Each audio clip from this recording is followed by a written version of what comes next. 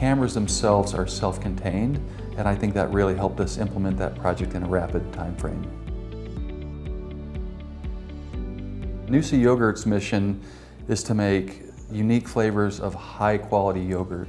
The mission of information technology within Noosa is to enable both our plant and enterprise users to be able to access data, information, so that technology is not an interruption. The reason we got the MVs was because the director of quality came in and said that we'd lost some yogurt. We had an instance where we had a silo door that wasn't on good, and as we were filling the silo, the mill was just pouring onto the ground. We thought, what a perfect space for trying out these cameras, because we didn't have a a role for those. We weren't actively looking for security cameras. We already had security camera systems. Process monitoring cameras, not security cameras per se, but monitoring our business processes in the plant.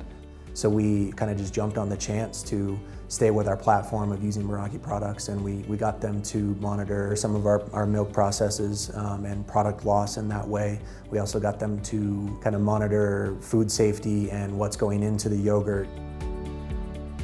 It was a very easy implementation. Because the cameras have onboard memory and storage, it's essentially finding a place to mount them, running Ethernet cable to them, configuring them on your dashboard, giving your end users access. Very easy project as technology implementation projects go.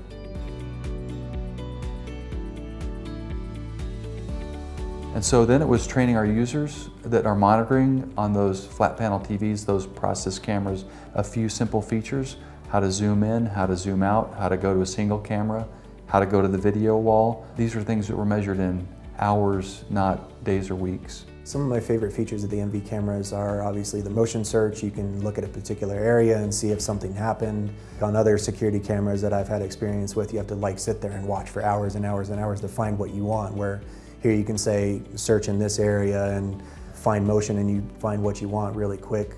Our experience has been very positive. We've actually caught a couple instances where we do have stuff leaking onto the ground.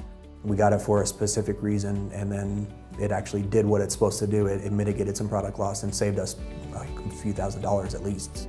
We do have the security of knowing that we can monitor some key points of our process to make sure that it's, it's absolute quality and, and that our products are safe. So in critical areas where we could have contamination of the product, we have cameras just to keep an eye on things. We're also doing it for personal safety. It's nice to make sure if somebody has an accident, somebody's down, you can see it from the control room. It also helps the team where they can look up and they know where their fellow yoga makers are if they're receiving a truck or working on something. The technology has helped us relieve a manual effort of monitoring things and automated that so people sitting in a single room can monitor multiple parts of our plant in real time.